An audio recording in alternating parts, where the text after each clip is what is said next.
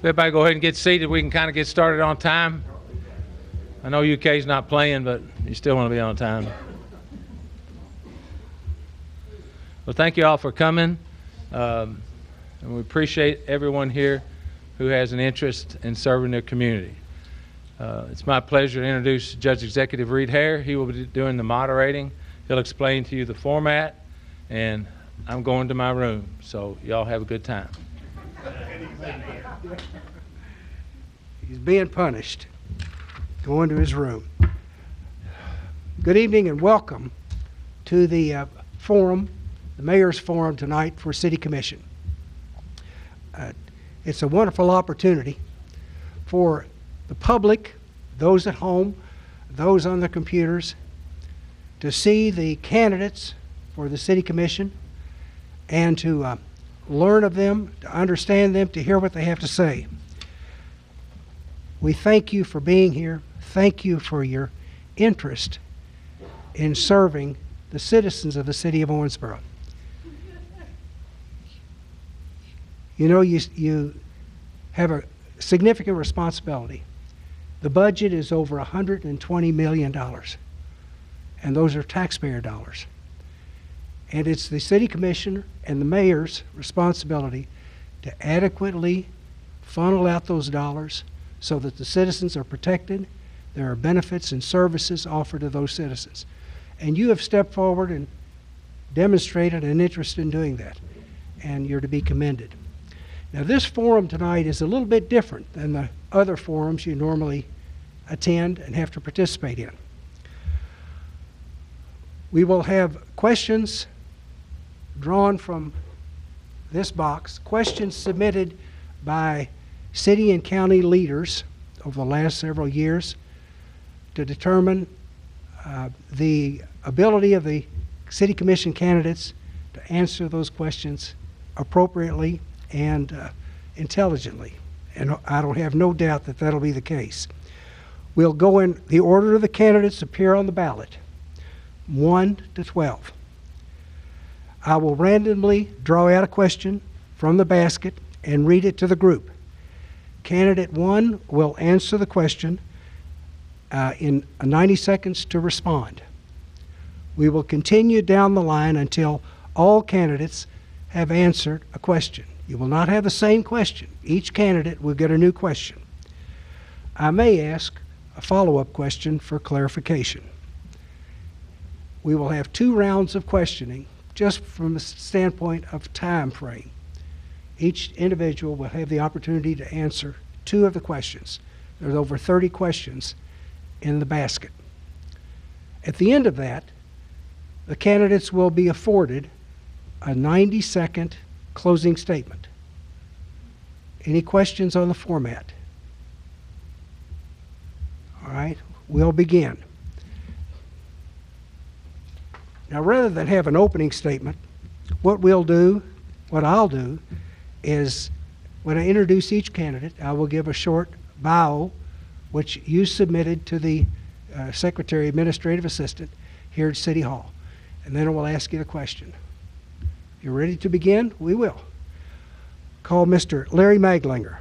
It's number one. Larry graduated from Daviess County High School and received electronics training in the Owensboro Daviess County Vocational School and Sam's Technical School of Electronics. Mr. Maglinger and his wife Tammy have five children and eight grandchildren. He has been the owner of Custom Audio Video for over 42 years and has served on numerous city boards throughout the years. Mr. Maglinger, if you would take the podium, and I will get the first question for you.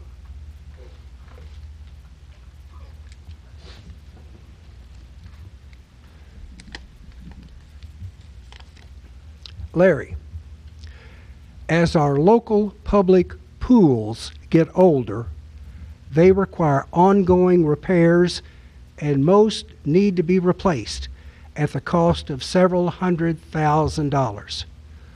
What ideas do you have to solve this issue? Well, I think that it all starts with the budget. Uh, we've got to decide, you know, what we can afford and what we can't. Uh, I think that uh, we've got to keep our infrastructure, uh, we've got to keep it continued going to where everybody can enjoy the different uh, uh, amenities that we have. So I think that we've got to plan for it and come up with the funds to uh, make it happen. So in your opinion, the pools need to stay open and not closed? I think they should stay open unless they're just non-repairable and are going to cost too much to keep going. Okay, thank you, Thank you. Larry. Second on the ballot is Mark McCoy, and Mark McCoy was, uh, is absent this evening. And I'm assuming I have number three is Joseph Martin. Is that you, sir? Yes. Okay, I have absent on here, so I don't have a bio. You may want to take a few seconds to, to tell people who you are and uh, as uh, a very couple of short sentences, and then I'll ask you your question. Joseph Martin. Well, I was born and raised in Daviess County. I'm a Vietnam veteran. I got two kids, one boy, one girl. I, I live in several places. I always wind up coming back here because this is my home, and I want to try to improve this city. Okay, Mr. Martin. We continue to lose high-quality, trained police, fire, and public works employees to higher-paying public and private sector employers. What is your plan to address this issue? Well, any problem you have, you gotta find out the solution. Why is it happening? And then you gotta find out what to do about it. Me personally, I would go in there and find out why is this happening, and then come up with a solution as far as keeping good police officers in in the off in the police station. But you got to understand, most people work at jobs, they like it, but the way they've been treated, or they're not respected enough to stay. Thank you. Okay, thank you, Mr. Martin. Fourth on the ballot is Jeff Sanford. Jeff graduated from Western Kentucky University with a degree in business management. Mr. Sanford and his wife, Dr. Misty Bray Sanford, have two children. He currently works for Hart's Real Estate as a realtor and has formerly served two terms as city commissioner and one term as mayor pro tem. Jeff, you take the podium, please.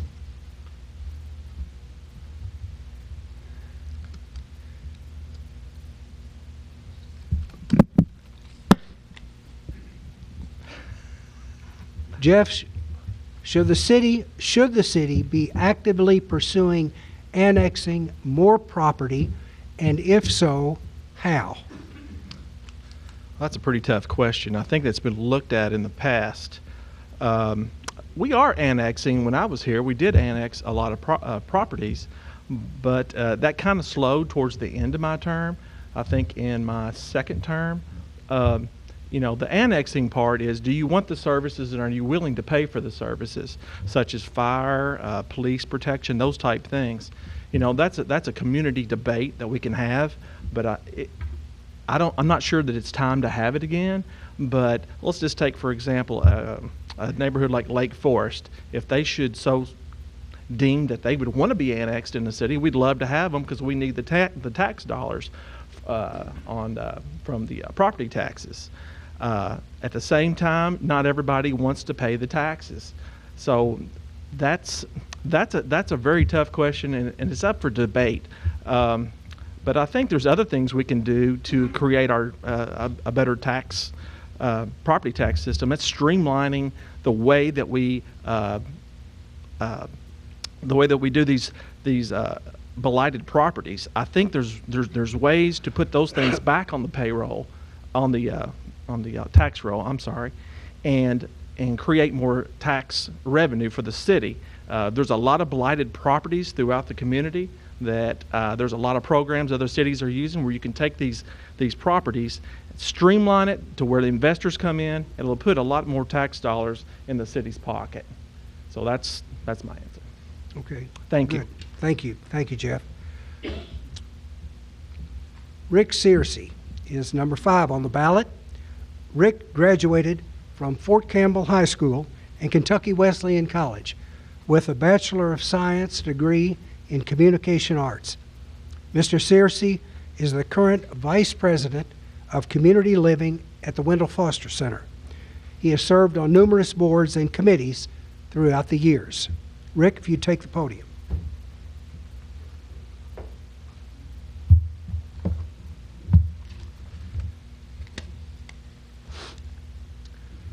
Rick, we hear every election that planning and zoning is a problem.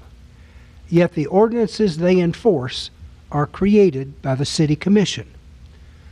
Do you believe the ordinances need your review? Why or why not? And what specifically would you like to see reviewed relative to planning and zoning? That's a good question.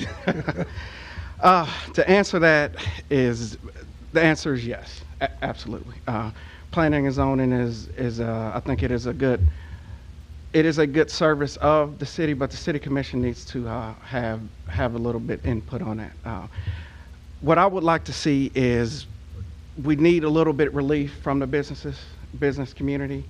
Uh, so a lot of times with planning and zoning, there could be a little bit some red tape when it comes to getting properties rezoned. I would like that to be a, lo- a lot faster process, a lot quicker process. That way, in in the middle of our city development, our downtown development, as well as other properties throughout the city, that we can be a, a lot more flexible when it comes to developing the city and moving it forward. So that's kind of my answer on that. Uh, I think that's that is you're right, Judge. That is something that has been spoken of a lot, and you hear it from you hear to hear it from both sides. But I think it's a discussion that the city should continue to have every single time with planning and zoning, as well as any other any other the boards or commissions that the city operates at the time. Okay, good. Thank you, Rick. Adam Marshall. Adam graduated from Eastern Kentucky University with a Bachelor of Science in Homeland Security degree, as well as an Associate in Arts degree from Owensboro Community and Technical College. Mr. Marshall and his wife Mariana have been married for 12 years and have three children. He currently manages River City Pawn Shop and has served on multiple committees throughout the years. Adam, if you'd take the podium, please.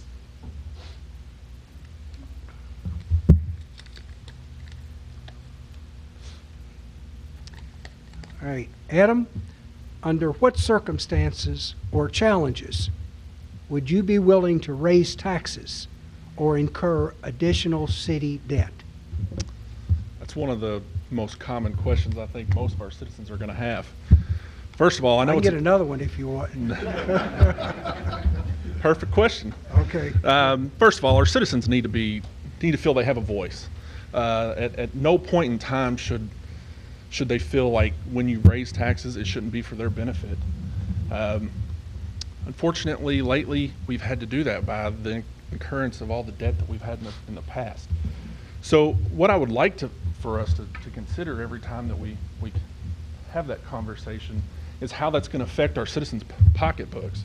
First of all, the rising cost cost of living in the city is astronomical, considering decades before us. So we need to also consider not just what debt we're going to incur, but how it's going to affect our citizens.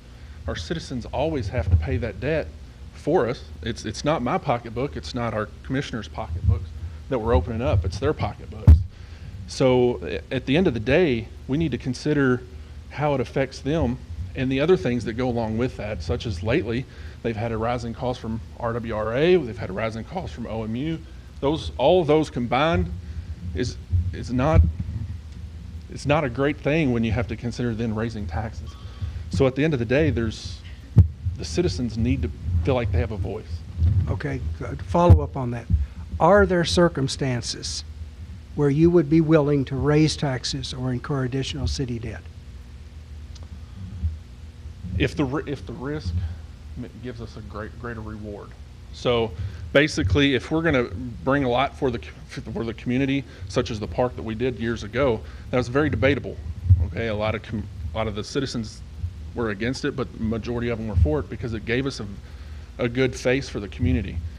Any anytime there's that risk, we have to give them that value. So if the value is there, I'd be willing to consider it. That doesn't mean that I'm for it, but I will consider that. Okay. Thank you very much. Adam Marshall.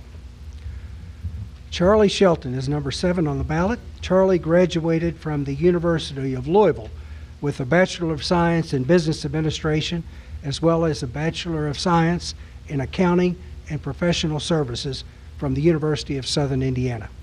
Mr. Shelton and his wife Becky have been married for 10 years and have one son. He is a certified public accountant and has experience in the electrical utility industry, financial planning, and risk analysis. Charlie, if you take the podium.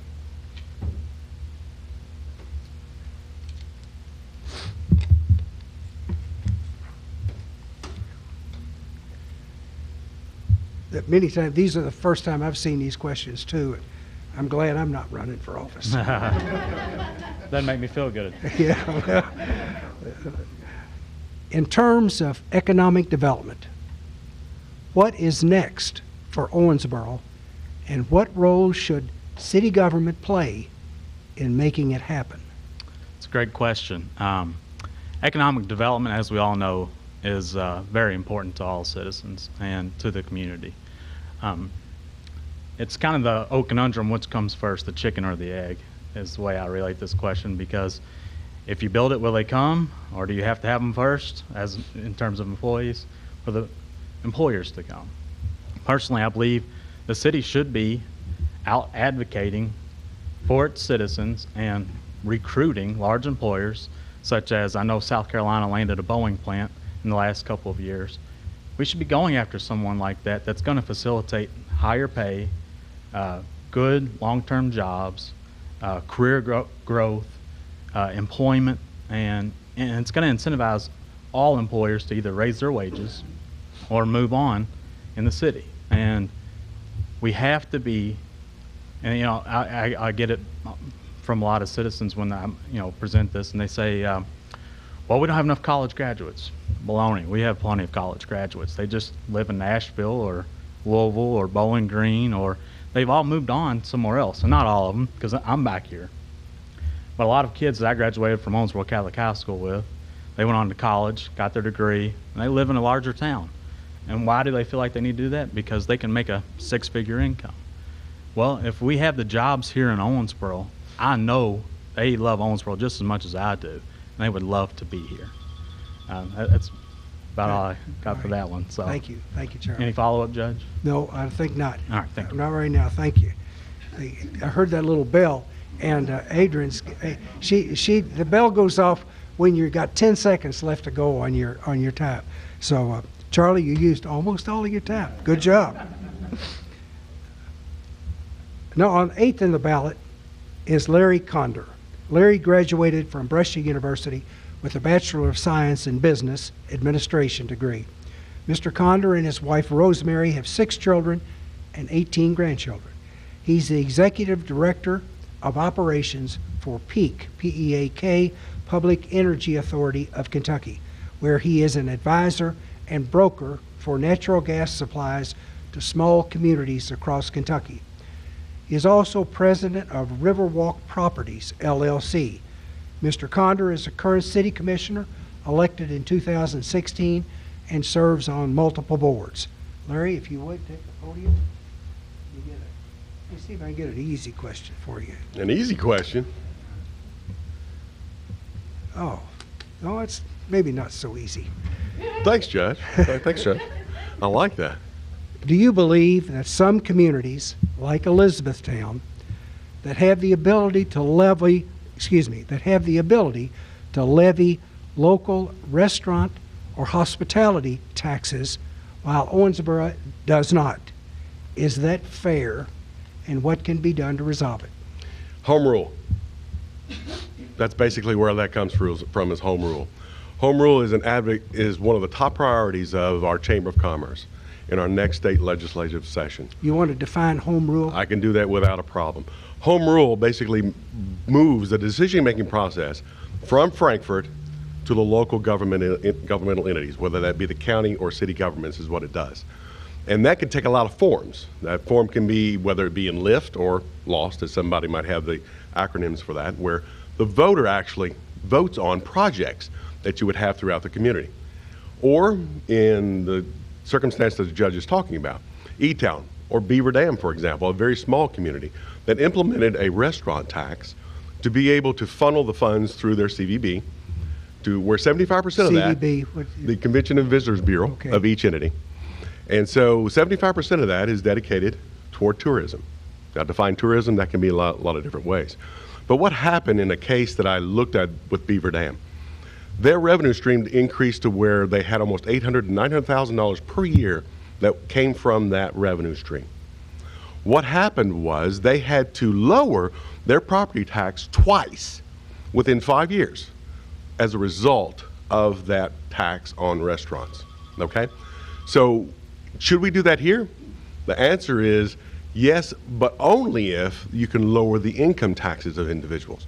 And I believe the occupational net profit tax can be lowered by 20 basis points if you implemented any type of rules that home rule would be advocated for. And I'd love to go to Frankfort to speak to every state representative to make sure they understand how this impacts everybody in our community. Thank you, Larry. Thank you, Judge. Ninth on the ballot is Pam L. Smithwright.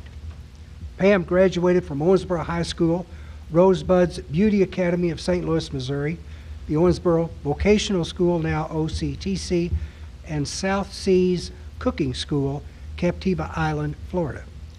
Ms. Smithwright and her husband Eugene have two children and two grandchildren. She's a local business owner and is a current city commissioner serving since 2011. Mrs. Smithwright was Owensboro's first female mayor pro tem, and she has served on numerous boards throughout the years. Pam, would you take the podium, please?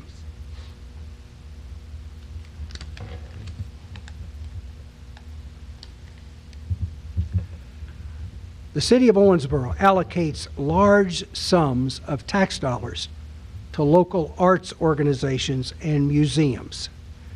How do you feel about tax money supporting these organizations, and what ideas do you have to lessen the financial burden on the city of Owensboro? Who, who did these questions?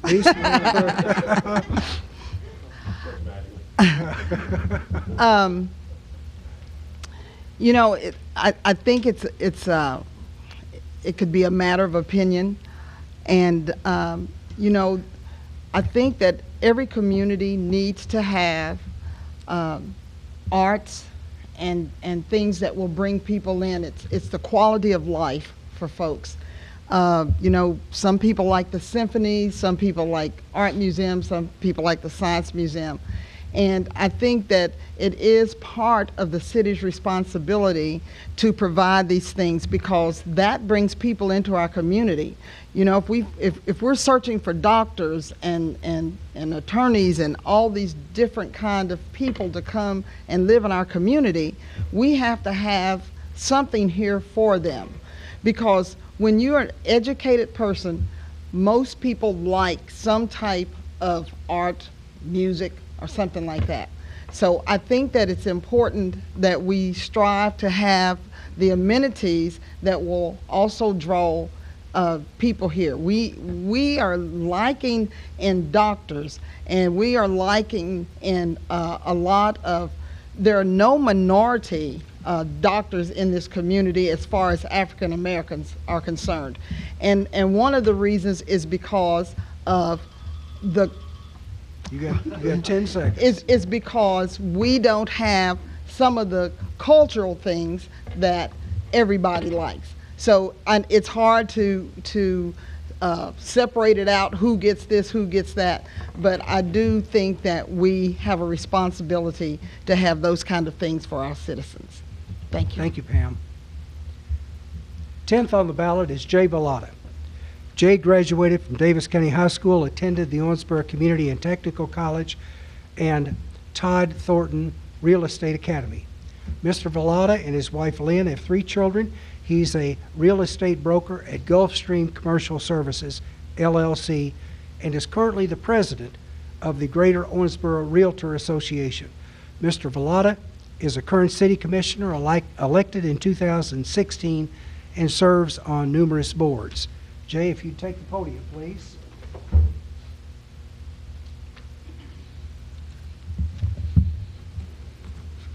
Let's see.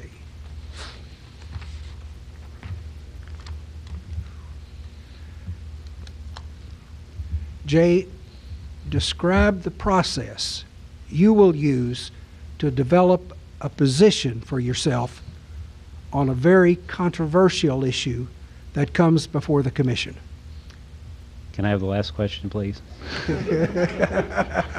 um, good question. Um, I tell you, the, the, the thing you always have to look at in any decision making process in this commission is to look at not just the fact that it's not about the city as the city, it's about the city as a citizen.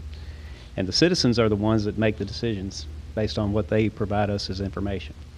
So the first thing that I would do would be to collectively talk to those 50 plus thousand people out there to see, you know, what their opinion would be on that, based on the fact that they're the ones that need to have the voice. You need to be the voice for those people. So, um, how would I carve out a position? Um, that it would be based on what the, the citizens' uh, opinion of that decision would be. It would have to be based on the on the community's uh, input, and I think collectively we're stronger if we uh, recognize that. So what would you do, and, and I ask this because there were occasions when I was faced this as a elected official for the fiscal court. What if s- situation arises where in your heart of hearts, you believe a certain course of action needs to be taken, and yet in the public, in the court of public opinion, it is not the most popular or the most advantageous to take? We've never had that situation here. I don't know what you're talking about. um, actually, um, it, I, it comes down to the, um, the the position of knowing that uh, I'm a I'm a tax-paying citizen too. I work for a living in this community, and I, I pay my taxes just like everyone else does. When I'm greeted in the public by someone who's on a fixed income who tells me thank you for doing or not doing something based on the fact that they don't have a way to make another dollar, I got to look at that and realize that there are people out there that have needs that we need to make, make sure are met as, ser- as stewards of this community. And, and you just have to vote with your conscience and, and understanding that sometimes it's not all about the grander picture, it's about what has to be done to make sure that all citizens are considered. Okay. Jay, thank you. Thank you. Didn't mean to put you on the spot.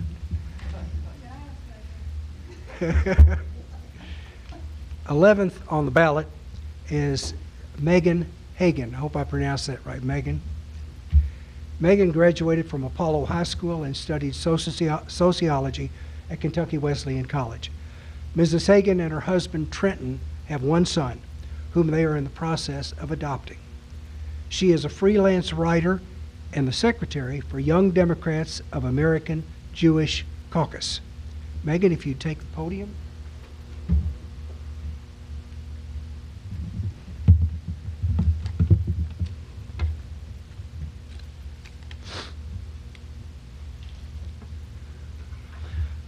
Megan, as a city commissioner, what ideas would you offer to ensure we maintain strong, effective public safety departments?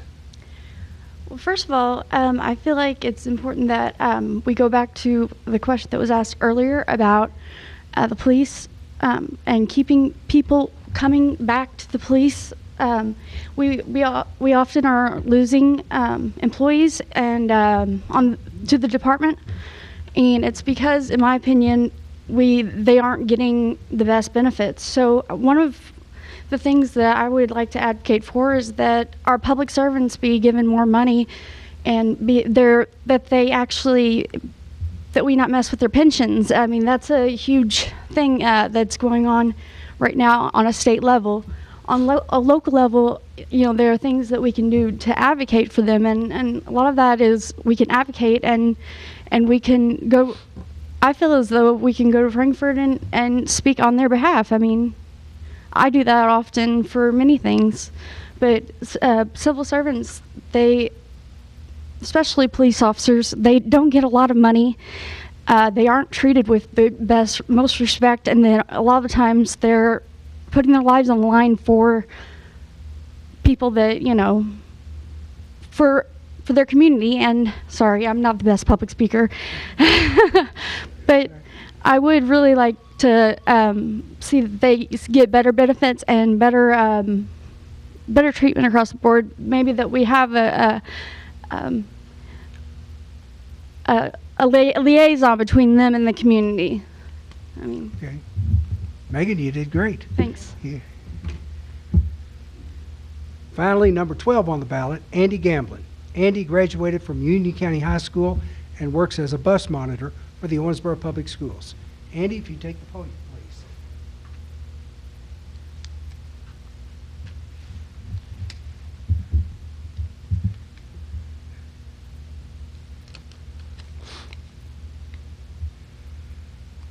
Describe what you believe are the most critical city services, city services, and explain why. Um, I believe the police department is, is very, very important, our fire department. Um, we need to be taking care of them. Of course, I know a lot of them, just like the, you know, they are leaving. And that has a lot to do with Frankfort and with our governor right now, changing this, trying to change the pension to a 401K. That, that is not right. I'm, I'm, I'm a bus monitor, I know, I mean, and um, we as candidates, or even when we become a city commissioner, we need to be, and even the mayor, and of course when you was county judge, we need to go to Frankfort. We need to uh, tell our legislators, hey, look, you know, fix this pension plan for our uh, employees. We need to be, we are the voice for the people. Good. Thank you, Andy. All right. Moving along. Now that everybody's done their first one, now you're relaxed and you're ready to go for the second question. Andy, I'll let you catch your breath. We'll start with uh, Larry once again. We'll get to the hard questions All right.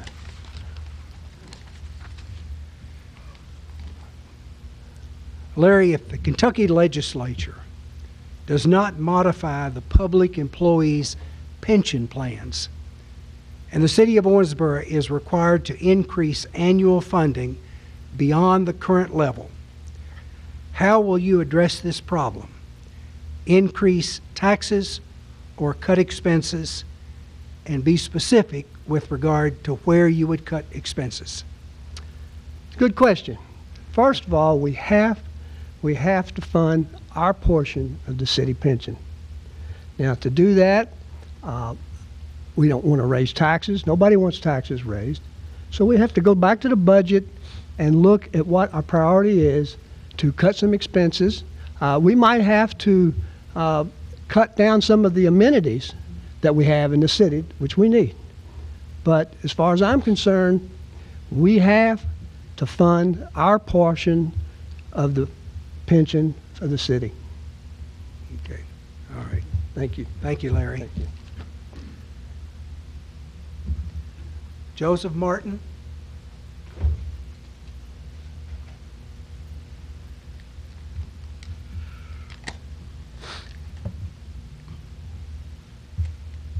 Joseph, as Owensboro continues to grow out Highway 54 and downtown, how would you address the concerns of citizens who worry about South Frederica Street and other areas of our city? Well, I always said downtown is great. What about the rest of the city? We need to do more rest of the city and 54 booming. We need to come up with some plans to help the situation. As for me, we need to be more efficient. We waste money. That's where the money going. That's why we're in debt. We don't. We got to use certain amount for certain things and quit wasting money, taxpayers' money. Quit raising taxes. We got the money, we need to use it right. Thank you. Uh, Joseph, you, you bring up, uh, force me to a follow-up question. uh, be specific. Where does the city waste money? Well, we give money away. It's nice to give money away, but if you don't have it, you can't give money away. You need to use it for a better source. So if you don't, you're going to be in a bind. Like getting bonds, paying interest on the bonds. If we get too many bonds, we just pay on the interest, not on the principal. We have all these bonds we got paid for. Okay, thank you, Joseph. Jeff, you're next, but b- before, come ahead and get up there. I, I want to recognize a a fellow in the audience here bef- before you folks put him to sleep. No, I'm just joking. Uh, Bob Whitmer, former city manager, is here, and I always, and now he's director at the airport. And Bob, it's always good to see you, and thank you for your continued interest in the city of Owensboro and the success of this city. So, good to see you. Uh, Jeff, Yes, sir. next question. All right.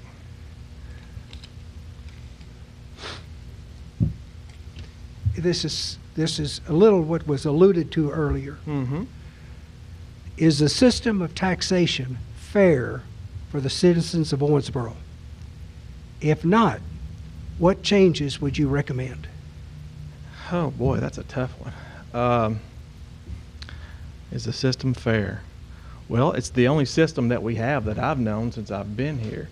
Uh, the system that we have, um, as far as fairness, um, boy, um,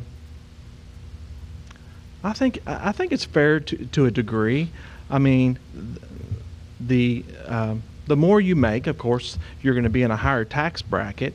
But uh, the city of Owensboro, you know, when we start looking at our taxes, I know they've had to raise taxes lately, but if you look at us compared to a lot of other cities, our tax rate is kind of in the middle with cities of our size. So nobody likes to spend more money. Nobody likes to pay more taxes out of their pocket. Um, so as far as fairness, if you look and compare us to other cities in Kentucky, I know from being up here that we are in the middle to the lower middle. We're not at the top. And we have a lot to offer in this city for what we pay for. You look downtown here and you look at the things that are going on in 54 and the investment investment that was made. Now, I can't sit here and say that I voted for all that because I didn't. I voted against a ton of it because I sat right there and did it. Sometimes by myself and sometimes with Pam right here because we use logic and and I voted for what I thought was right at the time. But as far as as taxes, I I, I think it's pr- it's pretty fair. But we don't want to pay more. But you have to pay something to have a decent city, or you can end up like a like a city in Calhoun who's never grown in uh, you know in in years. So we don't want that either. Thank you. Thank you, Jeff. All right. I think uh, I'd stay away from McLean County if I were you. For, yeah. Yeah. Rick Searcy? Rick, Yep. I don't like when- other than the obvious, what differentiates you from every other candidate for city commission? So can this count as my clothes? um, You're the only one with the purple shirt on. yeah, there we go. That answered it right all the time too. Uh, you know what? We we have just to answer this fairly. We have a we have a great slate of people here. Um, and I, I've said it before, and I'll say it again. I'm honored to be a part of this group. Uh, I think I know a lot of these people. I've known them before. We've run most of them, and I, I have, a, and we've served a lot together. Uh, what's different? So, with that being said, um, I think I'm a pretty good choice as well. Uh, what differentiates me from is my background and my experience. Uh, I've started in nonprofits. I've, I've served people from all over areas, different genders, different races. It just didn't matter. Uh, also, I have budgeting experience, uh, which is something that has been at a higher level throughout my executive levels as well. Uh, I'm, I'm able to go into any neighborhood and any group, and that's something I've, I've really been able to do over the years is being able to do those things like that. So that's what differentiates me a little bit. And I'm an Ohio State fan as well. So nobody up here is, trust me. Yeah, you're all alone. Right. Yeah. Okay. All right. Thank you, Rick. Adam Marshall.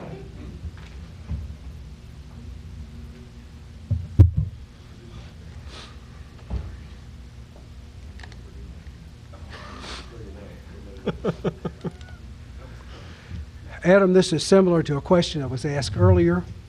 Should the city be as involved as it currently is in funding the arts and museums? Well, it's pretty much exactly pretty much the same question. Ab- absolutely, the community deserves that opportunity to, to have those those those services. The, they they help the quality of life, as Ms. Wright, Smith Wright said. So, at, at, at no point should we question it. But I do think that we need to make sure that the, as I said earlier, the the risk meets the reward. At every point, when when you consider those things, um, the museums are amazing. Uh, we, we, in fact, we could probably do even more. Uh, I don't think that maybe we do enough to attract people of, you know, of different backgrounds to make sure that they're um, comfortable coming here to enjoy more than just the day-to-day things that we enjoy. I mean, a park is great, but not everybody is a park kind of person. You know, some people don't like to be in the chaos of the children, and children are great.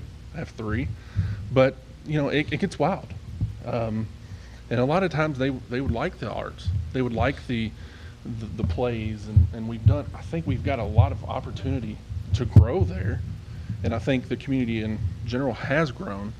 But I think it is up to the city commissioners, the, the commission, to make sure that, that that's funded adequately. I, I do believe we, our museum needs needs more attention. And I don't think that we should take anything from them. Okay. Adam, thank you very much. Charlie Shelton.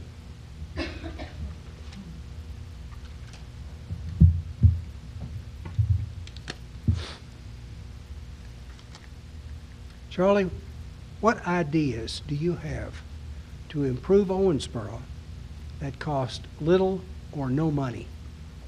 Ideas to improve Owensboro that cost little to no money. That's the question. Well, that's a, a good one. Well, first, we can lower the occupational tax rate. So, if we lower the tax rate on working citizens, they can go spend more money and boost revenues and profits for our local businesses. Okay. And I think that's a very least cost solution from a not not having to go out here and redo the green belt or anything like that that can add benefit and value to everyone's life. Charlie, assuming that the current city commission and the mayor have imposed taxes to cover necessary expenses, Yes, sir. if you go and you lower those taxes, Right. what areas are you going to have corresponding decreases in expenses so that you have a balanced budget? Well, you have to look where you have redundant services. So we brought up the fact that we have two swimming pools. Are they both being utilized to their maximum capacity? Uh, do you drop down to one? We have two golf courses. Do we need both golf courses? Do we drop down to one? Uh, we have lots of good community, you know, activities that are available that are somewhat redundant. And, you know, we have wonderful park system, you know, um, but do all the parks meet our needs? You know, do we need to look at expanding parks? And if we do, then we got to cut, you know, something somewhere else. So th- those are things that you can look at, um, and different items. You know, a- and I've talked to different folks, and we don't have line item veto per se, and but we've got to find the common solution that develops your needs versus your wants. Okay. So we've got to be prioritizing those needs, and we have to be limiting the wants. Good, Charlie. Thank you. Larry Conder. Probably a pension question. I gave you a softball last time. I know you did. Come on. you- you- Larry, what do you see as our biggest challenge as a city? Our biggest challenge as a city, and what is your plan to address it? Well, and we just just hit it. is what's going to be coming together with the pension costs. And you could see this coming over two years ago, what was going, what was coming down the track. I mean, it was very evident. This year in the uh, budget, we had $817,000 that was additional pension, costs on top of what we currently pay. Next year, 835. Next year, 875. Cu- A cumulative effect of 2.5 million dollars. Now, what could we do with that? Not only the City of Owensboro, but Daviess County Fiscal Court, OMU, RWRA, all of our governmental entities will be facing this issue in the very short term. It's going to happen. The needs and versus wants issue is going to hit you square in the face. It's not going to be slowing down. So, how do you address that? So, I'll throw out one right now, is what we can be able to look at. What I do is I prepay for natural gas, that's my business. You have an interest rate arbitrage that you prepay for your supply, is what you do. So with OMU, OMU will become a taker of electricity in 2021, is what they will be doing. So what you can do, and this is being done today, you actually put in place a 30-year contract with various suppliers where almost 15% of that cost of electricity that you're going to be buying under these long-term contracts as a, at a discount to what you are going to be paying versus the market. That's because we're a municipal entity. That's what that is. So if your revenue stream is about $300 million a year with OMU, 15% of that, now what do you got? 50% of that goes back to the ratepayers. The other 50% goes to the state to be able to pay that pension cost. That's the key. That's one of the biggest things we can do is leverage that asset that's coming down the road right now to pay those, those pension costs that we have. Thank you, Larry. Thank you, Judge. Pam Smith Wright.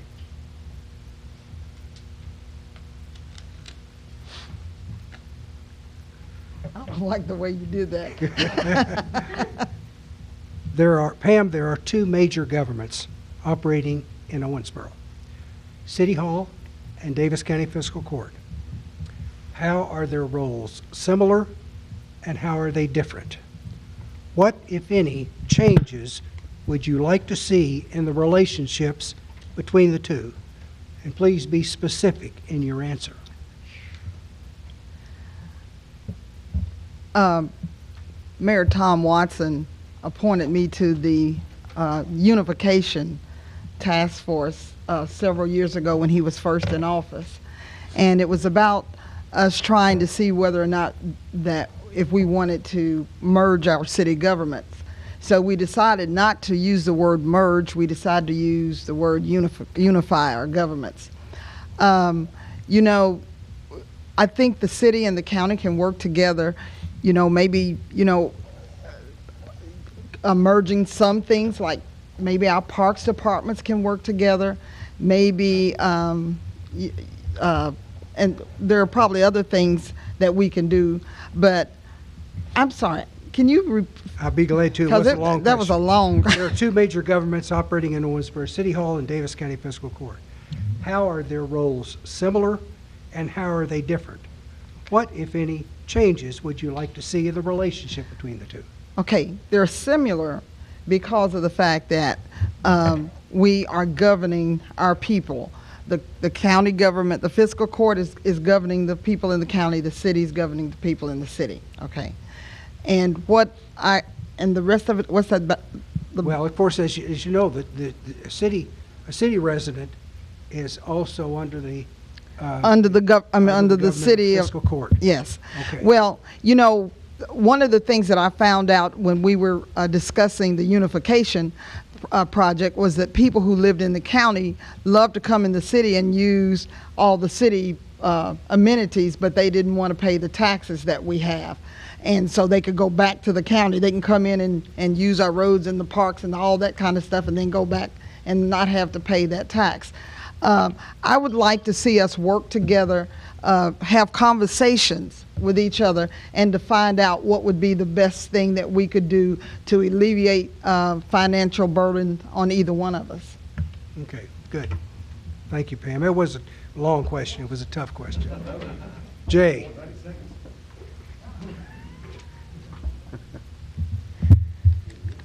I don't want that one. Okay, you you get another one. This is an easy one. The city of Owensboro subsidizes every round of golf played at Ben Hawes and Hillcrest by about $11 per round, while privately owned golf courses are flirting with bankruptcy. Would you commit to reduce the subsidy to no more than $3 per round if you are elected commissioner?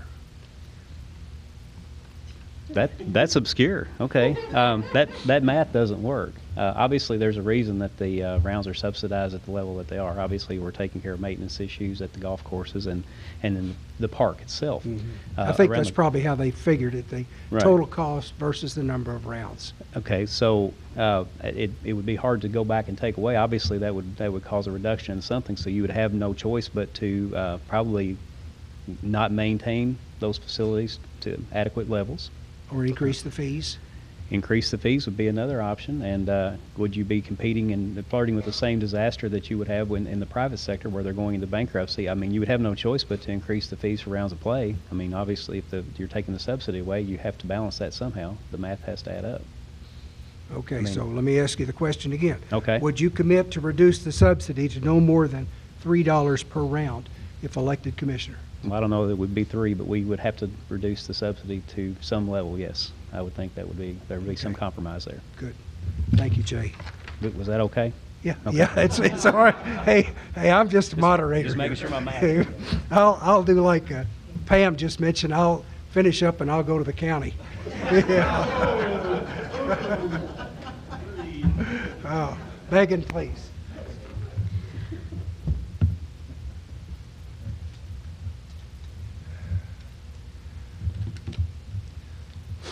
Megan, what should the city's involvement be in economic development? Um, I'd say that Charlie Shelton, you actually made a fine point. Um, right now, keeping more millennials in Owensboro, bringing more more people my age that, um, especially people that have college degrees, we need to figure out a way to keep more get more factories here, uh, especially union union jobs. I'm I'm a proud union supporter, and I feel it as though right now, if we could keep, uh, find a way to keep people here, so they don't go to Louisville, they don't go to Lexington. You know, that's a, a huge part of our economic development here in Owensboro. And also, can I just say, let's put a stop to the development downtown for right now. Let's take care of our city. I feel as though uh, um, our biggest problem is the the the debt we're incurring from uh, downtown. Uh, Okay. I, I if how do you stop a bear from getting into a pot of honey? You take the honey away from the bear. So Good. Thank you, Megan. Andy Gamlin.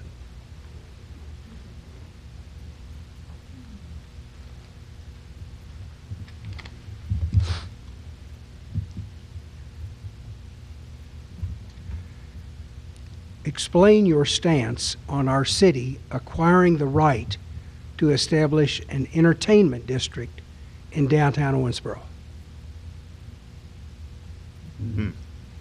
Wow. Do, th- read that one more time. Okay. Explain your stance on the city of Owensboro acquiring the right to establish an entertainment district in downtown Owensboro. Well, uh, our city, of course, we've just, uh, we've got one now, of course, the Bluegrass Museum. Um, I know it's, it's a great, great place and great thing that we did. But it's still, it's put us more, to me, I feel like it's put us more in debt. And, um, and I mean, I, I like entertainment. Um, entertainment's good, but you gotta, um, you have to watch what you do. I mean, if to me, we need to be working on trying to bring bring in high paying jobs. You know, so like Mr. Shelton said, so we can have our people to come back, and we need to look at ways where we can cut taxes, because without cutting taxes and everything, and um, you know, entertainment's good, but you know, um, sometimes you make you got to make the tough decisions and um, Of course, we got to be looking at ways we can bring in these high-paying jobs. Okay, good. Thank you, Andy. Okay. Uh, That concludes the, the questions. Now we have left is the uh, closing statements for each of you. Uh, And, and while I joked up here and tried to make light of some things, these were tough questions. Uh, They, they really were. I, were, were I in your seat, I would shudder with, when somebody would have asked me some of these things. Uh, My imagination isn't quick enough to make up an answer on that. You got to have a little meat on the bone. And uh, I was thoroughly impressed with the, uh, the, the level of, of uh, and the demonstration of your interest and your involvement in the city of Owensboro to be able to look at these issues and address them. So I, I learned a good bit tonight, and I thank you very much for your contribution and your knowledge.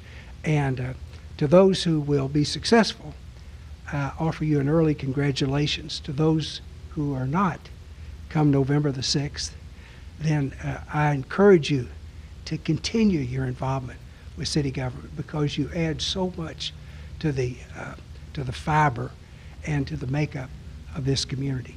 So with that, I'll ask uh, Larry if uh, you will come up and give a 90-second closing statement. Thank you. Thank you, Judge. I want to thank the city and Judge Haire for allowing me to share uh, my views with you tonight. I'm Larry Maglinger. I'll provide new leadership. I will have the vision and experience to move this city forward. I'll always make decisions based on what is best for Owensboro.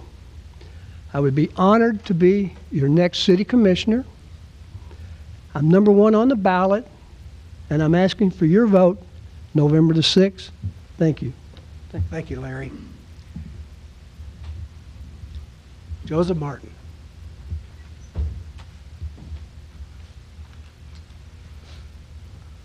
Well, I just want to thank you for having me here today. I'm privileged to try to do something to make a difference. It's time for a change. I understand the problems we face every day and what need to be done. I'm honest, dependable, hardworking.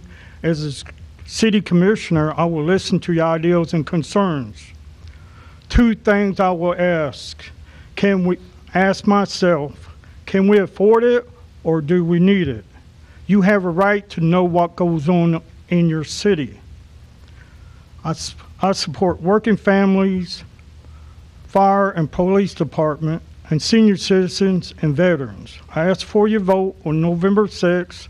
I'm num- number three on the ballot. Thank you. Thank you, Joseph. Jeff Sanford.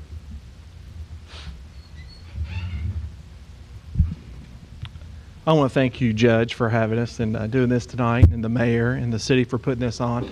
Uh, this is great because I get I'm getting to know all the candidates, and it's fun. And uh, I remember my days up here not too long ago. Um, I have a vision of for Owensboro. You know, we've done a lot. These guys here have done a lot. The group I was with did a lot. The group before me did, has done a lot. This city has grown, and we have something to be proud of. I mean, people come from outside of Owensboro, and I don't think people from Owensboro really understand what we have. You know, we can complain about a lot of things, but I think with positive leadership, that's what comes into play. You have to have a vision and you have to know where you want to go. We're not done yet, people. We have got a lot of work to do and a lot of things to do to make this a better community, and we can do it. Uh, basically, what you have up here is a team. Not everybody's a great at math. Not everybody's a great speaker. Not everybody's the rah rah person. But it's a, a group of five people. When you put them together, everybody has something to offer. That's what you're looking for in a city commissioner. As far as economic development, things like that, you have to understand what makes it work. I think it's education. I think it's skilled trade. I think it's infrastructure. I think it's tax structure. Those type of things. And it's a go-getter. It's the EDC and someone who's going to go out and knock on doors and get people to come in here. But we have got to invest in education. Skilled trade is where it's at. You look across the country, we need to become the skilled trade capital of the world and the jobs will come. I'm telling you, because we have a ton to offer in this city. And I'm very proud of this city and I think it's one of the best places on earth. Thank you. Thank you, Jeff. Rick Searcy.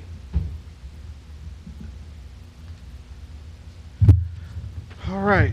Thank you, Judge. Uh, city staff, I didn't, I guess the mayor really did sneak to his office, didn't he? Thank you, our current judge as well, for being here. Um, you know, we, you guys all have a tough decision, and you know, honestly, uh, you've heard me say this before. I think I think you guys are worthy of it because the city deserves it. Whenever there's elections coming on, there should be tough decisions on which candidates you have. Um, now, I'm I'm actually running as well because I think I will be part part of a good decision. You know. Um, over the past few months, you guys have allowed me into your homes when I've been walking around. You guys have offered me drinks and water, and when it's been hot outside, you guys have offered me cocoa and gloves when it's been cold outside. And that, to me, that shows the true kindness of the people in this city. That's why I honestly feel that our better days are ahead. But it's not going to be quick. It's not going to be easy. It's going to take all of us coming together, Republicans, Democrats, independents, all of us. And that is that is what I want I want to bring to City Hall. This is the way that we get through these issues because like Commissioner Conder said, there are more things coming down the line and we need a government just as Jeff said as a team up here. You know, so when when when we go through these things, we can face these head on. Also, I want we you guys deserve a government that understands whether you are a local business owner, whether you are a working family, whether you are a single parent trying to go and work. You need a, a government that understands you. You need a government that knows what's going, what you're going through. All right, that is what I will bring to City Hall, and that's what I'm asking you guys to work with me. That way, we can roll up our sleeves and work together and move the city forward. Thank you. Thank you, Rick. Adam Marshall.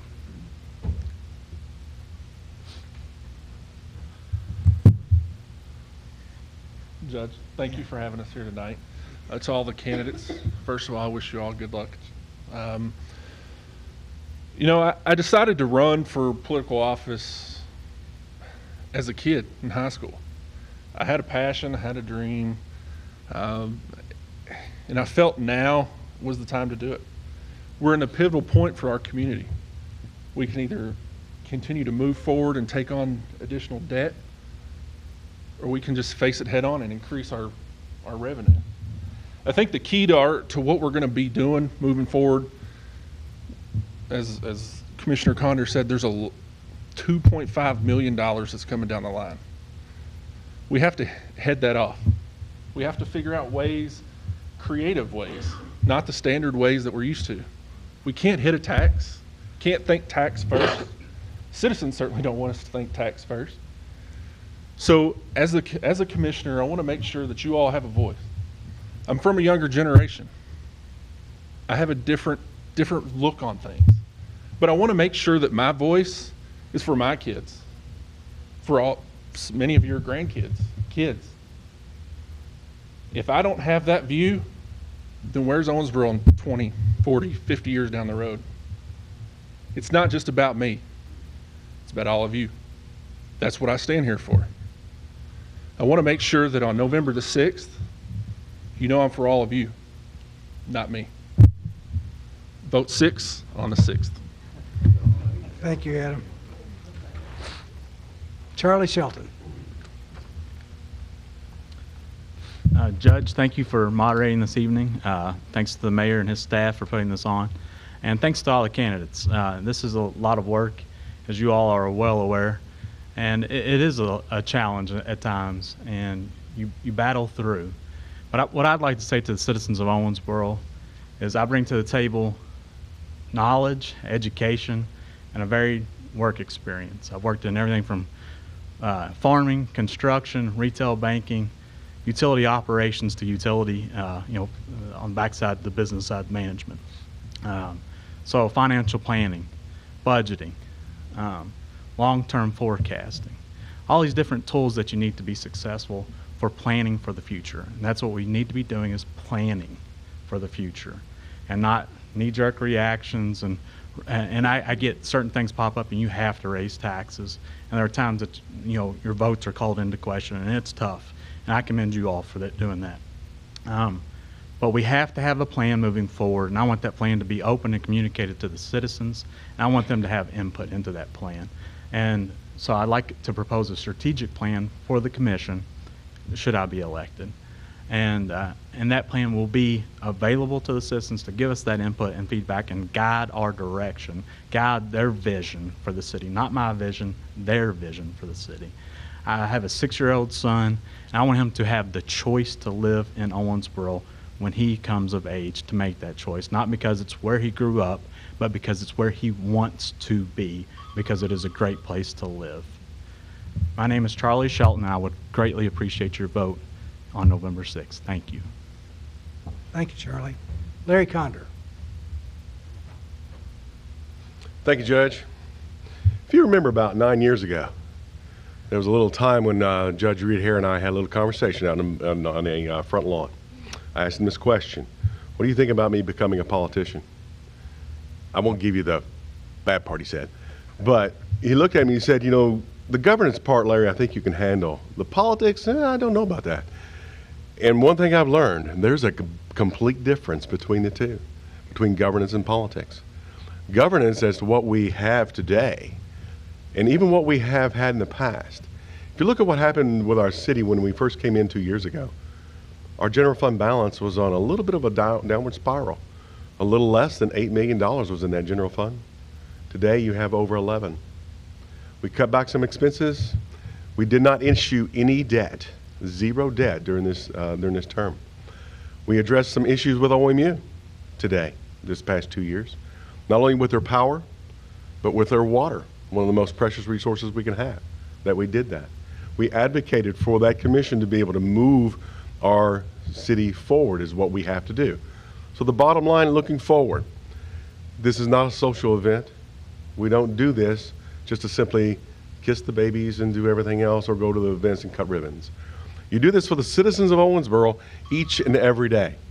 That should be in our forefront, that should be in our minds, everything we do in this position. So I ask all the candidates, all the people that are going to be voting, remember those individuals that will move you forward and have your best interest at heart because that's what you must have, that's what you deserve. Uh, my name is Larry Conder. I humbly ask for your vote on November 6th. Thank you. Thank you, Larry. Pam Smith-Wright.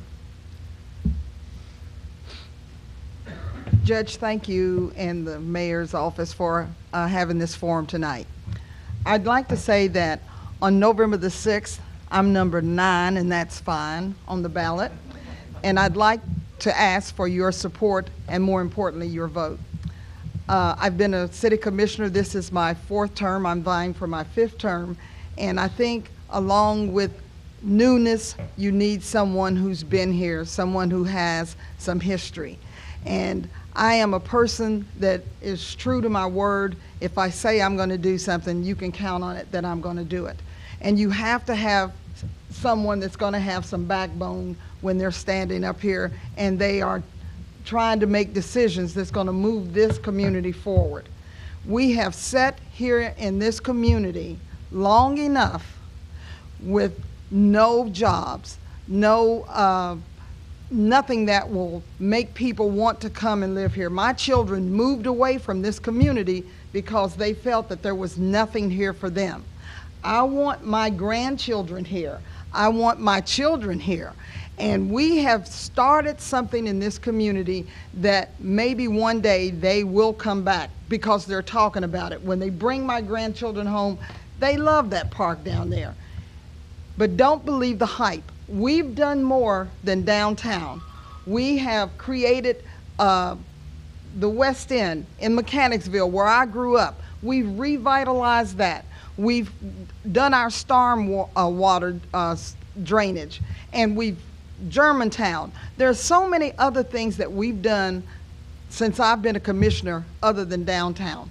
So on November the 6th, I would appreciate your vote, And like I said, I'm number nine, and number nine is fine. Thank you. Thank you, Pam.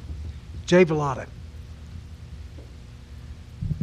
Thank you, Judge. Um, Been a lot of talk tonight about a lot of things. By the way, thank you for moderating this. Thank you, Mayor, staff, everybody for being a part of this. Um, Everybody talks about wanting to be better than what we are. I hear a lot about Owensboro's got things going on, and some of them aren't so great, you know, but I'm pretty proud of my city.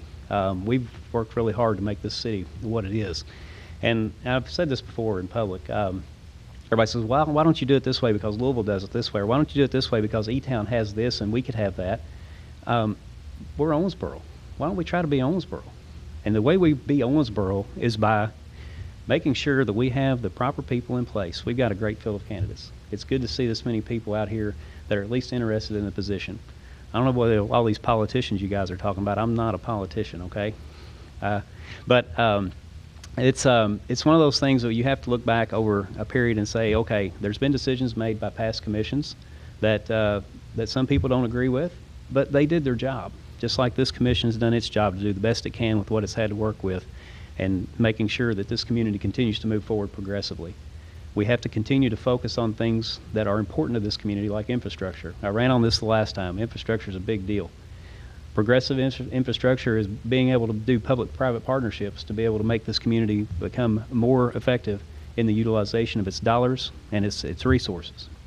We've had to do a lot of things that were nec- not necessarily our favorite things to do, and that's raise costs on things that were providing separation of stormwater sewer, as Ms. Pam Smith-Wright mentioned, and of course the OMU uh, water situation, along with some increase in some interest in some rates. So uh, we have to have to realize to keep this community moving forward, it is at a cost. We got to make sure we protect that cost and continue to be progressive in moving this community in the right direction. I'm number 10 on the ballot. It doesn't matter which part you come out of the gate as long as you're there at the end of the race. So thank you. I'd appreciate your vote on November 6th. Thank you, Jay. Megan Hagan. Hey guys. So I just want to say, my name is Megan Hagan. I have worked in politics for 18 years. I don't know if you remember me, Judge, but I actually worked as an intern. Uh, my name was May Knight back in the day, uh, in one of your campaigns. Um, thank you tonight, by the way. I um, I'm not here to work for the government. I'm here to work for the citizens. I'm here to be the voice and the advocate for the citizens that don't have a voice necessarily all the time. Uh, the future's here future of politics is here, and I've seen a slate of candidates tonight that I am really excited, and they're sitting all together, and that's my generation. Um, I would like to say that if elected, I would like to give OMU. Um, I'd, I'd like to put a stop to the closed door meetings. I'd like to, you know, possibly bridge, power the bridge on solar energy there's Owensboro has so much potential, and we are a wonderful city. Our citizens are the best part. But there are so many things that we can do. We could be the Silicon Valley of the Midwest. There's so much potential here. And I have the vision for Owensboro, and I hope that that's ca- got through the last uh, nine months since I, I came into this race. I just want to say that thank you to everybody, and um, yes, I uh, vote for me, Megan Hagan, number 11. Thank you, Megan. Andy Gamblin.